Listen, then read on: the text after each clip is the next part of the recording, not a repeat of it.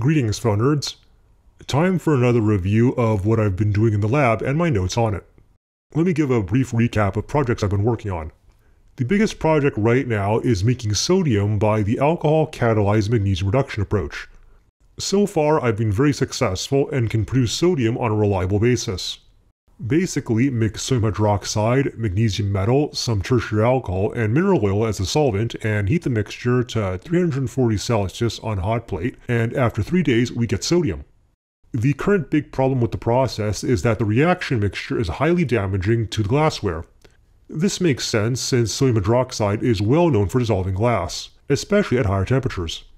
In previous lab note videos, I've been trying to coat the glassware or find better solvents.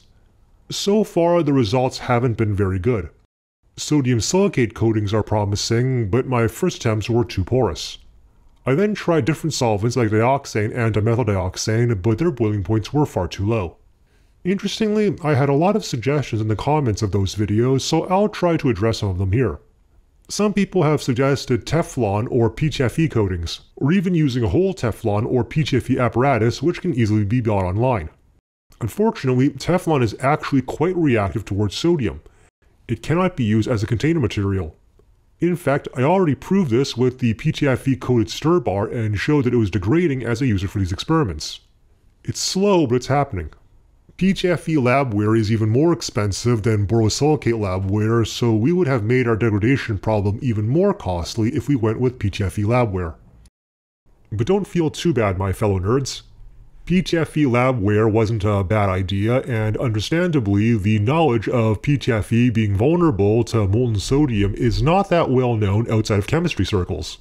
And now you know. Others have suggested resin, plastic, polyethylene, acrylic, varnish, and basically all kinds of hydrocarbon based coatings. None of these are viable because they'll all melt and dissolve in mineral oil at high temperature. Another suggestion was an internal coating of metal. The thing is, strong metal coatings on glass aren't that easy for the amateur. The easy ones, like silver, are too weak and would be ripped off by the constant stirring. And in the end, if we're going to go with metal, we might as well just use cans or plumbing pipes. Another problem is that metal is opaque and we can't see what's going on if we use it. Some people had suggestions for attacking the boiling point problem. The most common one was to use higher pressure to raise the boiling point of the dioxane and possibly access higher temperatures that way. I'm staying very far away from high pressure reactions, especially high temperature ones due to the safety concerns. What makes this reaction even harder is that it's a gas generating reaction since it produces hydrogen. So the pressure will actually increase as it runs if kept in a closed system. This is incredibly dangerous, and even professional chemists have been killed from exploding pressure vessels we need to build a pressure vessel that also has a pressure relief mechanism to release the excess hydrogen. Unfortunately, this goes well beyond the reach of the amateur. The point of the research was to make sodium accessible to the amateur, not push it even further away with the requirement of specialized equipment. If we were going with the specialized equipment route, I'd say let's just make a Downs cell or a Castner cell and be done with it. I'll probably do that in the future, but for now I just want to stick to normal glassware. So anyway, these past few weeks I've been exploring other aspects of the sodium production process. Mostly I've been examining under what conditions it works and how to optimize it. I'll get back to finding solutions to the glassware destruction problem, but sometimes it's helpful to first do as much optimization as possible with existing methods, and in the process learn more about what's going on. Now judging from the original dioxane and dimethyldioxane experiments, it seems that trying to run the sodium production reaction at low temperatures isn't going to work. So I ran a series of experiments to try and find the minimum necessary temperature for the reaction to start. Unfortunately, every time I got hydrogen formation indicating the reaction started, I also had damage to my glassware. I wasted many days and destroyed several flasks running these tests. Oh well, it wasn't a total waste. After running those experiments, I developed a few techniques to better process and recover the sodium. In my original experiments, I poured off the magnesium oxide and mineral oil slurry and pulled out the sodium with pliers. This was frustrating work and ran the risk of breaking the glassware. A better approach I found was to gently slow down the stirring over the course of an hour to let the sodium coalesce. Then the stirring was stopped before turning off the heat to just let the sodium solidify into globules. Once it was completely cooled, I used a kitchen sieve and strained out the sodium. The magnesium oxide and mineral oil remains as a slurry while the larger sodium globules are retained.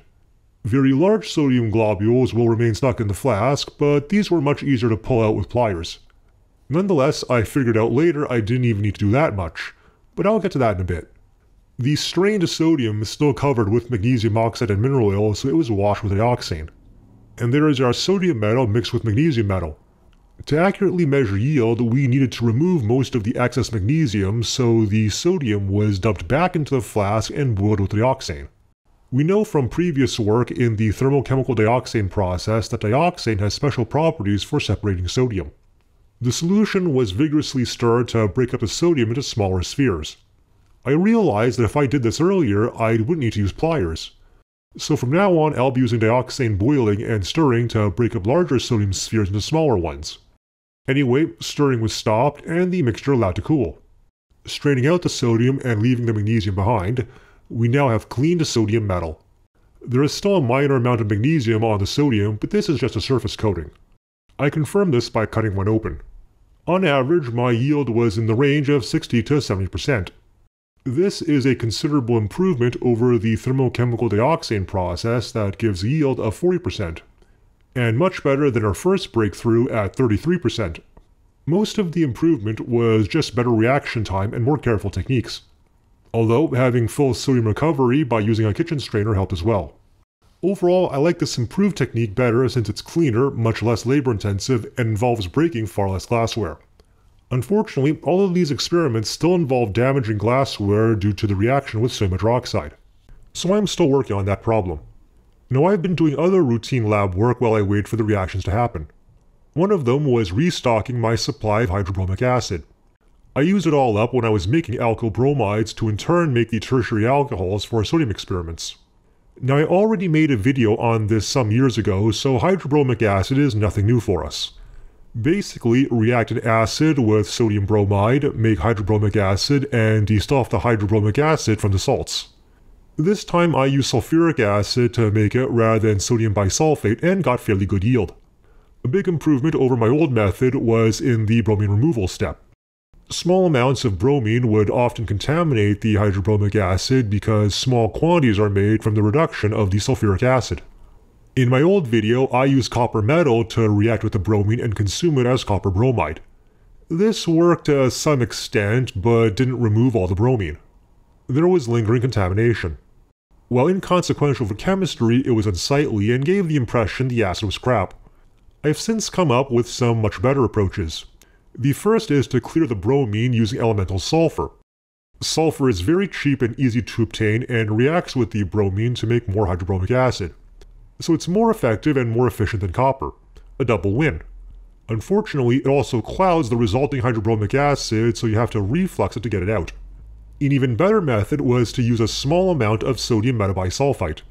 It's a reducing agent and rapidly reduces the bromine into bromide ions. After distillation, you get clear and pure hydrobromic acid. A quick question for you guys though, would you like me to make a separate video on the new and improved method of making hydrobromic acid? I'm actually making more right now, and it wouldn't be too hard for me to film it while doing so and making a full video on it. I want to ask because I already have an old video which admittedly is not very good, but maybe you'd rather I only stick to new chemistry. The update in this lab notes video being adequate for updating the old procedure. Let me know in the comments. Another actual video I've been working on is this Clevenger apparatus. The Clevenger is not some superhero porn star. It's actually a type of Dean Stark apparatus, but can be used in both light return and heavy return modes. It's not as good as a specialized apparatus, but it's less expensive and thus it's a great addition to any amateur's labware collection when you don't need professional level performance. I'll be releasing that video soon. So that's what I've been doing for the past few weeks. At this point, I want to ask the question if you like this current format where I detail everything I'm doing in the lab notes videos, or if you think it's better I make separate contained lab notes for each topic. A combined format guarantees I cover everything and even mentions topics that would be far too short for a self-contained video. But separate self-contained videos would be focused and not jump around topics like this one does. I can do either one, let me know how you want it done. Anyway, thanks for watching, things are progressing.